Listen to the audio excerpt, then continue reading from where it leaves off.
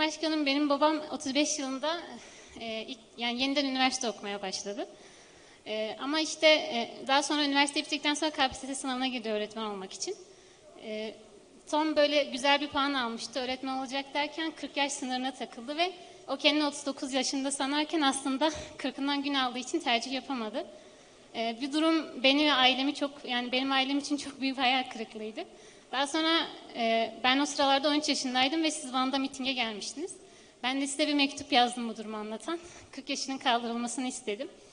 E, mektubumdan yaklaşık bir buçuk yıl sonra falan bu sınır ortadan kalktı ve babam şu anda 7 yıldır öğretmen. Size selamı var. Maşallah.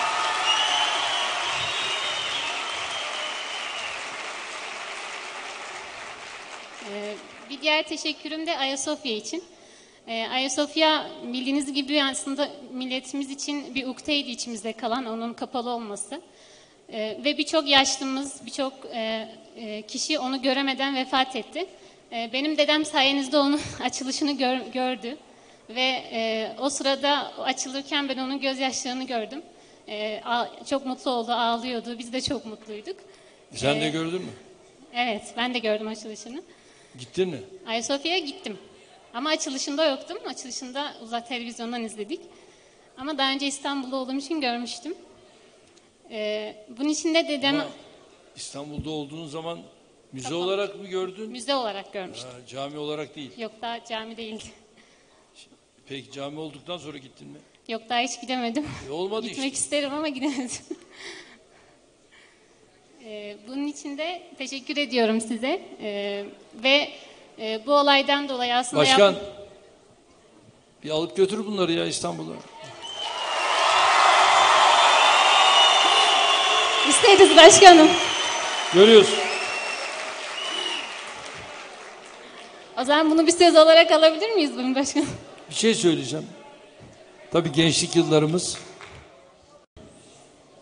Sultanahmet'te miting var. Hatip Necip Fazıl Kısakürek. Tam da böyle su terazisi var. Onun önünden konuşuyor. Ayasofya'ya karşı işaret ediyor. Yani ne ufuk var o insanlarda. Diyor ki Ayasofya bir gün açılacak. Açılacak. Açan kişi sizsiniz. Açılacak diyor. Ya Şu imanı görüyor musun? Evet. Ama ben de spikerim tabii. evet teşekkür ederim. Ve spiker olarak üstadı takdim ettik. Ve Ayasofya açılacak diyen üstadın elhamdülillah o inancı, o imanını yaşamak ve açmak da AK Parti'ye nasip oldu. Ayarlamayı yapıyorsun.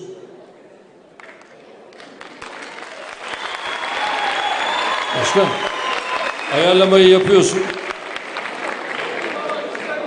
Sayın Sekmen'le beraber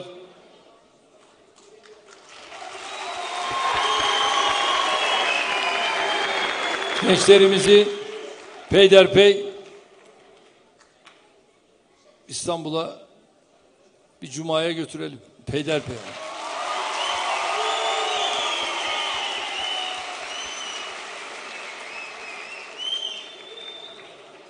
Sayın Sekmen Tamam. Planlamanızı ona göre yapın.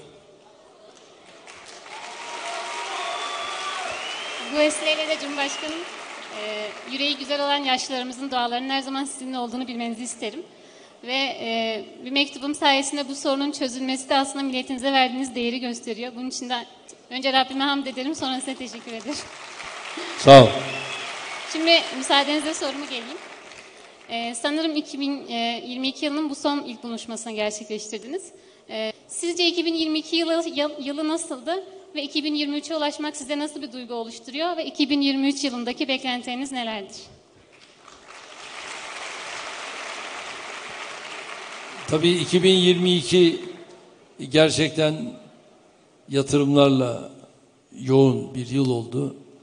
Tabii bunların içerisinde az önce konuşmamda da ifade ettiğim gibi E, bir taraftan tabii Karadeniz doğalgazı olayı. Ama öbür taraftan tabii Rusya-Ukrayna arasındaki savaş ve bu savaşta ne yazık ki Batı sadece tahrik unsurlarını devreye soktu. Arabulucu olma gibi bir gayretin içerisinde olmadı. Ve arabuluculuk noktasında da 2022'de bu rolü Türkiye olarak biz üstlendik ve Karadeniz tahıl koridorunu hamdolsun işlettik ve oradan özellikle tabii hedefimiz öncelikle fakir ülkeler ama bu arada Avrupa yüzde 44 gibi tahıldan bir çekim yaptı. İşte biz 16 gibi yaptık. Yüzde 14 gibi Afrika ülkeleri yaptı. Tabii Sayın Putin diyor ki e, biz diyor bu işi şöyle yapalım. Avrupa değil Afrika'ya ağırlık verelim. Bila bedel, ücretsiz ben tahılı göndermeye varım. Dedik ki biz de o gönderdiğiniz tahılı değirmenlerimizde una çevirelim. Biz de bila bedel onları una çevirmek suretiyle Rusya, Türkiye, Birleşmiş Milletler böylece garip kuraba, fakir fukara Afrika ülkelerine gönderelim.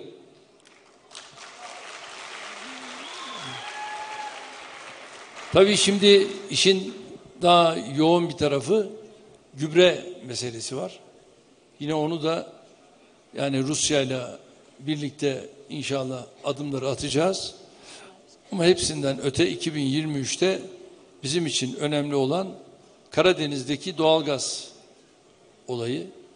İnşallah bu doğalgaz rezervini çıkarmak suretiyle bu adımı attığımız anda da Türkiye'de çok farklı bir inşallah veçeye bulaşmış olacak.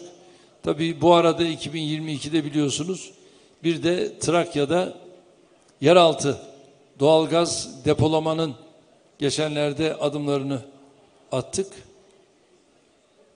Ulaştırmada çok büyük adımlar atıldı. Bunları tabii anlatmaya kalkarsak iş bayağı uzar. Durmak yok yola devam. Son olarak bir şey daha söylemek istiyorum. Ee, Ben e, e, Türkiye'de ülkesine hizmet eden bir genç bir araştırmacı olmak istiyorum. Ve Ne olmak istiyorsun? Genç bir araştırmacı olmak istiyorum. Yani bunu yolda gayret edeceğim. Ee, ve bu yolda işte yorulduğum zaman, sıkıldığım zamanlar e, beni motive edecek bir cümle söyler misiniz? Şimdi işte gençlerle bir araya geldiğim zaman dinlenmiş oluyorum. Bugün olduğu gibi. Tavsiye ederim. Gençlerle bol sohbetin olsun. Teşekkür ederim.